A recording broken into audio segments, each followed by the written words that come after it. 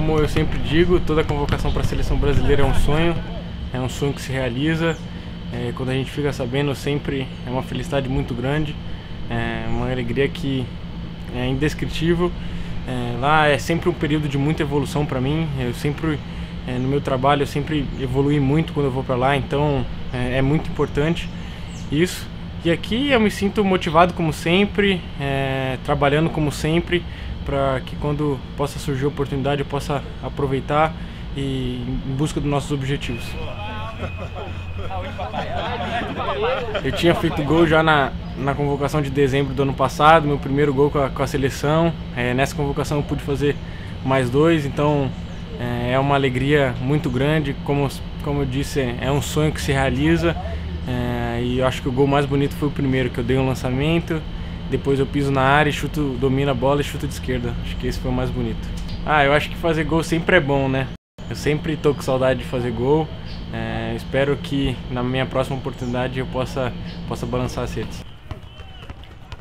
Ah, é um jogo muito importante. Eu acho que todos os nossos jogos nós temos que tratar como uma final, é, porque nós estamos chegando na, na, reta final do campeonato e então e todos os jogos são importantes, todos os jogos são finais e a gente vai mais para mais uma final em busca da, da vitória. É muito feliz, né? É, trabalho dia a dia para buscar os gols. É, é, trabalho muito, muito forte. É, só quem está aqui junto com nós sabe da, do nosso time que, que vem treinando forte. É, os resultados não vinham, né? E os gols também não. E graças a Deus fui feliz em, em fazer esse gol. É, vínhamos de é, três meses, cara, não, não consegui fazer gol. Para um atacante é muito difícil, que, que atacante vive de gol, né? E fazer esse gol é, é, me deixou muito feliz e sei que, que preciso melhorar muito ainda para buscar mais gols e, e vai ser no dia a dia aí desses jogos que, que vão pela frente, muito importante e, e que cada jogo vamos tratar como finais, né? E, e temos que buscar esses pontos e, e quem sabe até a última buscar o acesso.